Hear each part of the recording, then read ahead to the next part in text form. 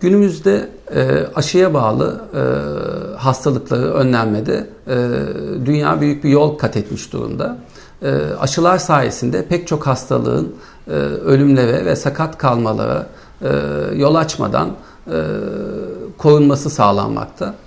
E, bazen e, aşıların e, yan etkileri de görülebilmekte ama bu yan etkiler oldukça hafiftir. Çok nadiren milyonda bir, on milyonda bir daha ciddi yan etkiler görülebilmekte. Ama aşıyla önleyebildiğimiz hastalıkların yarattığı ölümleri, e, sakat kalmaları göze aldığımızda bunlar e, çok çok az miktarda olmakta. E, kar zarar oranına baktığımızda rutin aşı programını uygulamak hem kendi çocuğumuzun sağlığı hem de toplum sağlığı için gereklilik ve aynı zamanda bir görevdir.